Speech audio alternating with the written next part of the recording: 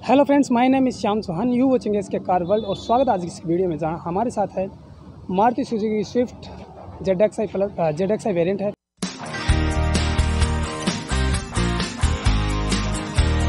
अब बात करते हैं सबसे पहले इसकी चाबी से। चाबी की अगर बात करें तो सुजुकी जो रेगुलर जो चाबी जो है वो देता है, वही जो चाबी इसके अंदर मिल जाती है। लॉक और अनलॉक के लिए जो है दो की इसके अंदर मिल जाती है। अब बात कर लेते हैं इस कार के बारे में। सबसे पहले शुरुआत करते हैं इसके डिज़ाइन लैंग्वेज की। डिज़ाइन लैंग्वेज की अगर बात करें तो सबसे पहले हमारी नज़र जाएगी इसकी हेडलाइट पर। अगर हेडलाइट की बात करें तो हेडलाइट जो है आपको हेलोजन के अंदर मिल जाती है और सिंगल हेडलाइट मिलती है। हाई बीम और लो बीम के लिए यही काम करती है। अब अगर इंडिकेटर की बात करें तो इंडिकेटर भी आपको जो है वो हेलोजन में ही मिल जाता है, ठीक है? काफ़ी बड़ी सी हेडलाइट जो आपको इसके अंदर जो है मिल जाती है। फिर नीचे अगर बात करें तो यहाँ पर आपको देखोगे तो आपको फोगलैम्प जो है वो भी मिल जाता है, लेकिन वो भी आपको हेलोजन के अंदर ये मिल जाता है।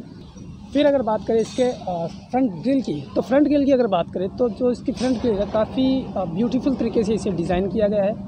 और इसके बीच में आप देख रहे हो, ये जो बड़ी सी जो क्रोम लाइनिंग है, ये इस पर देखने के लिए काफ़ी खूबसूरत जो है, वो लगती है। मारुति सुजुकी का जो लोगो है, वो आपको देखने को मिलता है, बीच में ग्रिल के, जो कि अच्छा लगता है। अगर नीचे की वेंट्स की बात करें तो काफ़ी पतले से जो वेंट्स हैं, इसके अंदर हमें मिल जाते हैं, लेकिन लगते ये बहुत ही अच्छे हैं। फिर अगर बात करें इसके बोनेट की तो देखो बोनेट जो है काफ़ी सिंपलिस्टिक डिज़ाइन जो है इसे मिल जाता है। ऐसा नहीं है कि इसमें काफ़ी क्रीजेज़ वगैरह जो है वो दी गई हैं, काफ़ी ज़्यादा सिंपल इसे रखा गया है। अब बात कर लेते हैं इसके साइड प्रोफ़ाइल की। साइड प्रोफ़ाइल की अगर बात करें तो हमारी नज़र जाएगी सबसे पहले इसके अलॉय व्हील्स पर। अगर अलॉय व्हील्स की बात करें तो देखो ये Z Z X I variant है, इसी जेड एक्स आई प्लस नहीं, इससे ऊपर भी एक वेरियंट आता है। उसमें आपको जो है डायमंड कट अलॉय जो है, वो मिल जाती है, लेकिन यहाँ पर आपको सिंपल अलॉय व्हील्स है, वो मिल जाते हैं। अगर टायर साइज़ की अगर मैं बात करूँ तो पंद्रह इंच के इसके अंदर आपको टायर जो है, वो मिल जाते हैं। अंदर अगर देखोगे तो फ्रंट में आपको जो है डिस्क ब्रेक मिल जाते हैं, और रियर में आपको ड्रम ड्रम ब्रेक जो है, वो मिल जाते हैं, ठीक है? कवरिंग की अगर बात करें तो कवरिंग जो है, इसके अंदर अच्छी खासी जो हमें मिल जाती है, और अगर बात करें सस्पेंसन ट्रेवल की तो सस्पेंसन ट्रेवल जो है, ये भी हमें ठीक ठाक इसके अंदर मिल जाता है। एक बात और इसके अंदर जो हमें, ये रबड़ पेंट जो है, ये अच्छी तरीके से जो है चढ़ाया हुआ मिलता है और काफ़ी जो इसकी लेयर है काफ़ी चढ़ाई गई है, जिससे जो हमारी कार है, जो रस्टिंग से जो है, वो बच जाती है। ठीक है, अब बात कर लेते हैं इसके ओ आर बी एम की। अब ओ आर बी एम की बात करें तो ये आपको बॉडी कलर के अंदर मिल जाता है। साइड इंडिकेटर जो है इसके अंदर आपको देखने को मिलता है। ये ओ आर बी एम की अगर साइज़ की देखो बात करें तो साइज़ जो है, ये भी ओ आर बी एम की आपको ठीक ठाक इसके अंदर मिल जाती है। ओवरऑल अगर हम साइड प्रोफ़ाइल की बात करें तो देखने में काफ़ी स्पोर्टी कार ये जो है नज़र आती है। एक वेरिएंट जो इससे ऊपर आता है उसके अंदर जो आपको है ब्लैक रूफ यानी कि डुबल टोन में मिल जाता है। मिल जाता है, इसके अंदर भी है, वो ऑप्शनल में आता है, ठीक है? फिर बात करते हैं इसके पीछे के टायर की। तो यहाँ पर भी अगर आप देखोगे तो जो आपको टायर का जो सस्पेंशन ट्रेवल है, वो अभी आपको यहाँ पर भी अच्छा खासा मिल जाता है। रबड़ पेंट आपको मिलता है। यहाँ पर अगर आप देखोगे तो दूसरी बात, यहाँ पर कवरिंग जो है, वो अच्छी खासी यहाँ पर की गई है। पीछे के यहाँ पर टायर में देखोगे तो आपको ड्रम ब्रेक जो है वो अच्छी तरीके से विजिबल हो जाएगा। रियर डोर के जो डोर हैंडल है वो आपको यहाँ पर आ, सी पिलर पर जो है देखने को मिलता है। अब बात कर लेते हैं इसके पीछे की प्रोफ़ाइल की। देखो पीछे की प्रोफ़ाइल की अगर बात करें तो पीछे की प्रोफ़ाइल में सबसे पहले हमारी नज़र जाएगी इसके चार पार्किंग सेंसर पर। इसके अंदर आपको प्रॉपर चार पार्किंग सेंसर जो है मिल जाते हैं। नीचे यहाँ पर देखोगे तो नंबर प्लेट लगाने के लिए जगह मिलती है और यहाँ पर आप देखोगे तो बूट को खोलने के लिए जो थोड़ा स्पेस जो है वो मिल जाता है, ठीक है? बीच में आपको मिलता है मारुति का जो लोगो है सॉरी मारुति सुजुकी का जो लोगो है, वो मिल जाता है। स्विफ्ट की ब्रांडिंग जो है वो मिल जाती है थ्री के अंदर, ठीक है? वाइपर डिफोगर इसके अंदर आपको प्रॉपर देखने को मिलता है और वो सर जो आपको यहाँ पर देखने को मिलता है। ये यहाँ पर आपको हाई माउंट स्टॉप लैम्प जो है वो देखने को मिलती है। ऊपर जो है नॉर्मल जो एंटीना है वो देखने को मिल जाता है।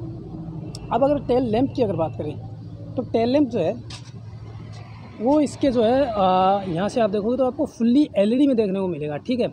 लेकिन जो इसका रिवर्स लैंप है, वो और साथ में इसका इंडिकेटर साइड इंडिकेटर वो आपको जो है हेलोजन के अंदर ही देखने को मिलता है। बात कर लेते हैं इसकी बूट स्पेस की। देखो बूट स्पेस जो है, उसे खोलने के लिए यहाँ पर एक नीचे जो है, वो बटन दिया गया है। अपने आप ही ये जो है जो है ऊपर चला जाता है क्योंकि यहाँ पर आप देख रहे हो, यहाँ पर आपको हाइड्रोलिक स्टर्स जो है वो मिल जाते हैं, ठीक है? अब बात कर लेते हैं इसके बूट स्पेस की। तो बूट स्पेस जो है आपको अच्छा खासा इसके अंदर जो है दो सौ अड़सठ लीटर का इसके अंदर जो है बूट स्पेस जो है वो देखने को मिलता है, ठीक है?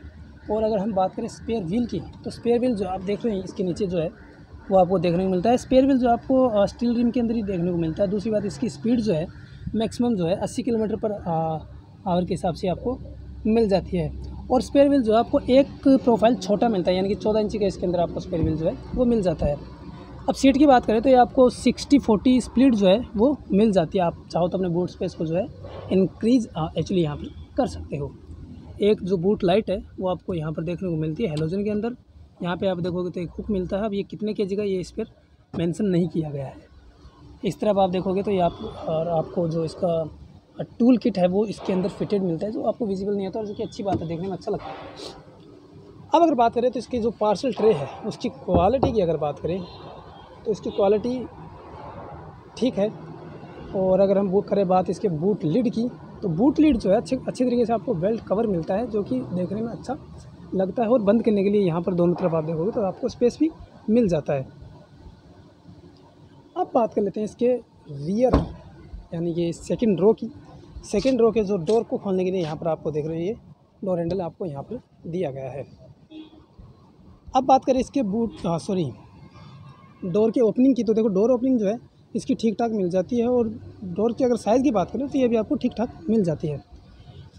अब डोर ट्रिम की अगर बात करें तो डोर ट्रिम में आपको यहाँ पर दिखेगा, आपको डोर लीवर यहाँ पर इसका पावर विंडो का बटन थोड़ा स्पेस ठीक है?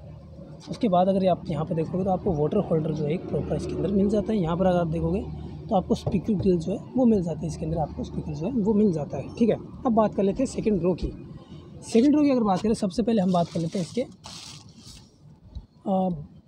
थाई स्पोर्ट की। तो देखो थाई स्पोर्ट जो है अच्छा खासा इसके अंदर मिल जाता है। आप यहाँ पर देख ही रहे हो ये ठीक है, और सीट की कुशनिंग भी जो है, वो भी अच्छी खासी इसके अंदर मिल जाती है। एडजस्टेबल आपको इसके अंदर जो है हेडरेस्ट जो है वो मिल जाते हैं। जो कि एक अच्छी बात है। अब बात कर लेते हैं इसके अंदर बैठ कर। अंदर स्पेस कैसा है? डोर को करते हैं। बंद। ओके ठीक है। अभी देखो, जो नी रूम है, वो आप देख ही सकते हो। कितना ज़्यादा नी रूम इसके अंदर मुझे मिल जाता है। नी रूम में किसी प्रकार की कोई प्रॉब्लम मुझे महसूस नहीं होती है और आपको भी नहीं होगी। लेग रूम की अगर बात करें तो आप अपने पैर जो है अच्छे तरीके से फैलाकर इसके अंदर जो है आप बैठ सकते हो। उसमें भी आपको किसी प्रकार की जो कोई प्रॉब्लम है, वो महसूस नहीं होगी। ठीक है? अब बात करें अगर तीन जनों के बैठने की तो देखो तीन जने इसके अंदर आराम से बैठ जाते हैं, कोई दिक्कत नहीं होगी। लेकिन फिर भी मैं सजेस्ट करूँगा कि आप बीच में जो है बच्चे को बैठाओ। साइड में तो दोनों अडल्ट बैठ सकते हैं, बीच में बच्चा के लिए मैं ऐसे बोल रहा हूँ, बच्चे के लिए मैं इसलिए बोल रहा हूँ क्योंकि यहाँ पर जो है, ये जो पार्ट है इस सीट का, ये थोड़ा सा ऐसे बाहर उभरा हुआ है, जिसकी वजह से बैठने में थोड़ी सी दिक्कत हो सकती है। ठीक है?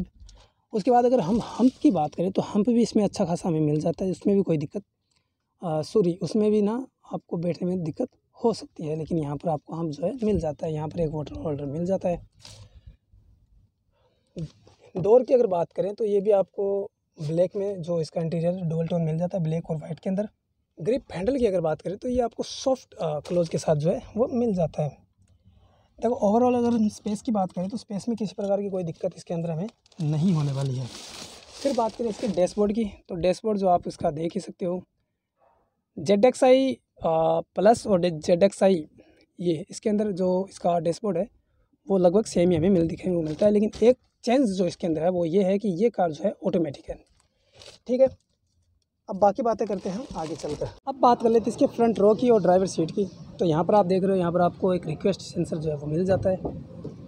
कार को करते हैं ओपन आप देखो फ्रंट जो डोर है, उसकी ओपनिंग की अगर बात करें तो अच्छी खासी ओपनिंग आप इसके अंदर मिल जाती है, ठीक है? और अगर हम फ्रंट डोर के डोर ट्रिम की अगर बात करें तो डोर ट्रिम में आपको वही सब कुछ मिल जाता है। यहाँ पर आप देखोगे तो आपको थोड़ा सा एक अलग सिल्वरिस टाइप का फिनिश जो इसके अंदर मिल जाता है। यहाँ पर अगर आप देखोगे तो आपको इसका डोर हैंडल है, वो क्रोम के अंदर मिल जाता है। नीचे वाटर होल्डर मिल जाता है। थोड़ा स्पेस आपको यहाँ पर मिलेगा और थोड़ा स्पेस यहाँ पर। यहाँ पर अगर देखोगे तो आपको फैब्रिक के अंदर मिलेगा, लेकिन सॉफ्ट टच जो मटेरियल है उसका यूज़ यहाँ पर किया गया है। स्पीकर अगर आप देखोगे तो यहाँ पर आपको स्पीकर ग्रिल मिलेगा, यहाँ पर आपको ट्विटर के लिए ग्रिल मिलेगा। फोर स्पीकर, टू ट्विटर का इसके अंदर म्यूज़िक सिस्टम आपको मिल जाता है। अब बात कर लेते हैं इसके ड्राइवर सीट की। तो ड्राइवर सीट की अगर हम थाई स्पोर्ट की अगर बात करें तो थाई स्पोर्ट ड्राइवर सीट का जो है, पीछे वाली सीट से भी इसके अंदर ज़्यादा जो है मिल जाता है। ऊपर से ये सीट जो है इसे थोड़ी सी ऐसे ऊपर जो है उठी हुई है तो इसमें आपको थाई स्पोर्ट में कमी नहीं होगी। दूसरी बात, ये सीट जो है, ये आपको बकेट टाइप सीट जो है, वो मिल जाती है, जो कि आपको अच्छे तरीके से होल्ड कर कर रखती है तो आपको लॉन्ग जर्नी में जो है परेशानी कम होगी। सीट एडजस्टमेंट की बात करें तो ये आपको मैन्युअली मिलता है। आप सीट को रिक्लाइन कर सकते हो। सीट की हाइट जो एडजस्ट कर सकते हो।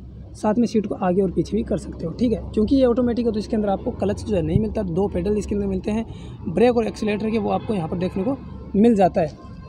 यहाँ पर बात करोगे तो यहाँ पर आपको ट्रैक्शन ऑन ऑफ़ करने के लिए कंट्रोल मिल जाता है। ये आपके हेडलाइट्स के कंट्रोल यहाँ पर मिलेंगे और यहाँ पर आपको पुश स्टार्ट स्टॉप बटन जो है, वो भी मिल जाता है।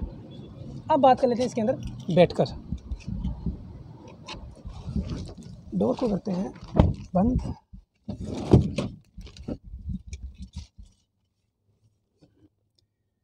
कार को करते हैं। ऑन जैसे आप कार को ऑन करोगे तो आपको सारी जो इन्फॉर्मेशन है, वो यहाँ पर आपको देखने को मिल जाएगी। सभी प्रकार की इन्फॉर्मेशन इसके अंदर आ जाएगी। अब बात कर लेते हैं सबसे पहले इसके स्टेयरिंग व्हील की। अगर स्टेयरिंग व्हील की अगर बात करें तो यहाँ पर आपको ये लेदर रेप्ड जो स्टेयरिंग व्हील है, वो देखने को मिलता है। और थ्री स्पोक स्टेयरिंग व्हील इसके अंदर आपको देखने को मिलता है। दूसरी बात जो स्टेयरिंग व्हील का जो डिज़ाइन है, ये काफ़ी अच्छा देखने को यहाँ पर मिल जाता है। यहाँ पर जो आप देख रहे हो कंट्रोल्स ये आपको इसके म्यूज़िक सिस्टम के कंट्रोल मिल जाते हैं। इस तरफ़ आपको किसी प्रकार का कोई कंट्रोल्स नहीं मिलता है। यहाँ पर आप देखोगे तो आपको टेलीफोनी और वॉइस असिस्टेंट के कंट्रोल जो है, वो मिल जाते हैं। यहाँ पर आप देखोगे तो आपको वाइपर के कंट्रोल्स मिल जाएँगे इस तरफ़ आप देखोगे तो आपको हेडलाइट कंट्रोल्स जो है, वो भी मिल जाएँगे। बीच में यहाँ पर देखोगे तो आपको एक एमआईडी नज़र आएगी और साइड में यहाँ पर स्पीडोमीटर सॉरी, टेकोमीटर और स्पीडोमीटर जो आपको एनालॉग में नज़र आएगा। अब अगर बात करें इसके एमआईडी की तो एमआईडी जो है, इसको टॉगल करने के लिए यहाँ पर दोनों तरफ़ आप देखोगे तो आपको कंट्रोल जो है, वो मिल जाते हैं। इसके अंदर आपको फ्यूल इकोनॉमी कितने किलोमीटर कार चलेगी, टायर प्रेशर इन्फॉर्मेशन ये सब चीज़ें जो है टेम्परेचर वगैरह आपको इसके अंदर दिखाता रहेगा। अब बात करते हैं सेंटर कंसोल की। तो सेंटर कंसोल में सबसे पहले हमारी नज़र जाएगी इसके आई में, जो कि आपको मैनुअल ही देखने को मिलता है। ऑटो डेमिंग आपको नहीं मिलता है। और उसके बाद यहाँ पर देखोगे तो आपको इसके ए सी वेंट्स जो हैं, वो भी देखने को मिलते हैं। डिज़ाइन की बात करें तो इसका डिज़ाइन जो है, काफ़ी अच्छा इसके अंदर मिल जाता है। यहाँ पर आपको हज़ार लैम्प जो है, वो मिल जाता है। अब यहाँ पर अगर बात करोगे तो ये जो इसकी डिस्प्ले है म्यूज़िक सिस्टम की अगर उसके देखो टच रिस्पॉन्स की अगर बात करें तो टच रिस्पॉन्स में देखो किसी प्रकार की कोई दिक्कत मुझे नज़र नहीं आती है ठीक है? लेकिन अगर बात करोगे इसके सॉफ्टवेयर की तो वो भी आ, इसके अंदर अच्छा यूज़ किया गया है किसी प्रकार की दिक्कत इसमें जो है वो हमें नहीं होने वाली ठीक है? अब इसके नीचे अगर बात करें तो आपको फुल्ली इसके अंदर क्लाइमेट कंट्रोल एसी जो है, वो मिल जाता है। अगर एसी की डिस्प्ले की बात करें तो आपको इस बीच में यहाँ पर आप देख रहे हो, यहाँ पर ही आपको इसके एसी की जो डिस्प्ले है, वो प्रॉपर तरीके से आपको यहाँ पर मिल जाती है। ठीक है मोड्स के लिए आपको यहाँ पर ये चार बटन जो है, वो दिए गए हैं। नीचे अगर बात करोगे तो आपको यहाँ पर एक ट्वेल्व पावर सॉकेट का जो चार्जिंग पॉइंट है, वो दिया गया है। यहाँ पर अगर बात करोगे, यहाँ पर आपको टाइप ए और ऑक्स का पोर्ट जो है, वो मिल जाता है। थोड़ा स्पेस आपको यहाँ पर देखने को मिलता है। दो वाटर होल्डर भी यहाँ पर आपको मिल जाता है। यहाँ पर आप, अगर आप देखोगे तो आपको यहाँ पर फाइव स्पीड का ऑटोमेटिक ट्रांसमिशन जो है, वो मिल जाता है। ठीक है, आप इसे चाहो तो मैनुअल भी कंट्रोल कर सकते हो। यहाँ पर दिया गया है मैनुअल कंट्रोल करने के लिए। यहाँ पर इसका हैंड ब्रेक वो मिल जाता है। थोड़ा स्पेस आर्म रेस्ट इसके अंदर हमें देखने को नहीं मिलता है। अब बात करें इसके ग्लब बॉक्स की तो ग्लब बॉक्स जो है आपको यहाँ पर देखने को मिलता है। और उसके बाद अगर बात करें तो यहाँ पर अगर आप देखोगे तो आपको जो डिज़ाइन एलिमेंट में जो है, वो थोड़ी सा जो है सिल्वरिश टाइप की जो फिनिश है यहाँ पर नज़र आएगी। एक, दो और तीन, दो टाइप के जो मटेरियल जो है या प्लास्टिक जो है, इसके अंदर यूज़ जो है यूज़ किए गए हैं। ठीक है, अगर अब हम सीट के कुशनिंग की अगर बात करें तो सीट कुशनिंग ऐसी है कि ना तो ज़्यादा इसके अंदर सॉफ्ट दी गई है, ना ही ज़्यादा हार्ड दी गई, जिससे आपको चलाने में जो है किसी प्रकार की कोई दिक्कत जो है वो बिल्कुल महसूस नहीं होने वाली है। अगर सनवाइज़र की बात करें तो यहाँ पर आपको एक मिरर जो है वो देखने को मिलता है। इस तरफ़ अगर हम बात करें तो यहाँ पर आपको एक टिकट होल्डर तो मिलता है, लेकिन मिरर देखने को नहीं मिलता। लाइटिंग की अगर बात करें तो हेलोजन में मिल जाती है, एलईडी में नहीं मिलती। दो माइक्स जो है आपको यहाँ पर देखने को मिल जाते हैं, जो कि आपकी कॉलिंग में हेल्प करते हैं। ग्रेप हैंडल जो आपको सॉफ्ट क्लोज के साथ एक मिल ही जाता है। एक चीज़ और जो मैंने आपको दिखाना अभी मैं भूल गया था, वो है ये आपको यहाँ पर जो है एक प्रॉपर तरीके से डेड पेडल जो है वो दिया गया है, क्योंकि इसके अंदर हमें क्लच जो है वो नहीं मिलता है। चलिए डोर को करते हैं बंद। ओके तो बस इतना था आज की इस वीडियो में, जहाँ हमने बात की Maruti Suzuki Swift Z X के बारे में। और अगर इस जेड एक्स आई प्लस की जो वीडियो है, वो चैनल पे पहले से उसकी लिंक जो है मैं डिस्क्रिप्शन में डाल दूँगा, आप चाहो तो देख सकते हो। कैसी लगी आपको वीडियो कैसी लगी ये कार? अगर आपको वीडियो अच्छी लगी हो तो वीडियो को कीजिए शेयर चैनल को कीजिए सब्सक्राइब और साथ में वीडियो को लाइक करना बिल्कुल भी मत भूलना। तब तक के लिए जय हिंद।